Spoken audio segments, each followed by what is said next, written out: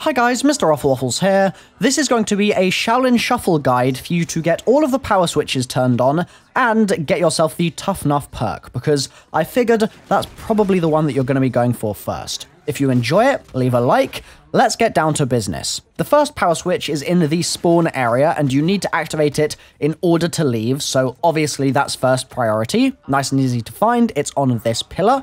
Then, coming out of the subway, there are a couple of different routes that you can actually take, but for now, in this video, I'm going to show you this particular one, and by the way, you can do these in any order, as per usual. So, come up to the roof here, you're then going to go through this building and go across this next part of the roof and around the corner, and you'll see that there's a power switch just sort of tucked next to actually the new perk, which I'll be showing you guys in another video of mine. That's the Deadeye Dewdrops perk. The next power switch we're going to be looking at is again accessible from the spawn, so I'm starting us off back at the original subway here come into the Disco Inferno building and go up the staircase just around this corner, and you'll find the switch on the roof, just behind that kind of, I guess, glass skylighty type thing. It's just next to Quickies. So that's, uh, what, two? No, three of your power switches now. We have one left to go. Now, for this next one, you can, if you want to, go through the shortcut, which is jumping down off the roof, which I've just sort of meleeed towards there.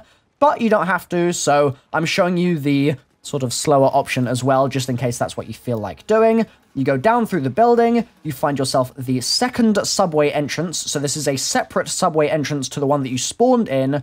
Go down into it, and you'll find the power switch just there towards the train tracks. Now, bear in mind, that train becomes activated when you turn it on, so be wary of that, but once you've done that, the door in the spawn area and the door in the second subway that you opened, both of those will open, and you'll be able to go and grab yourself some Tough Enough from this kind of, uh, I guess, little chamber in the sort of sewery area of the map. You can also access Tough Enough from the sort of tunnel leading into the ground, which I'm actually coming out of here. So, I've been Mr. Waffles. Like I've said, if this was useful, leave a like on the video. That would be fan tabby doozy, and I'll see you next time. Bye-bye.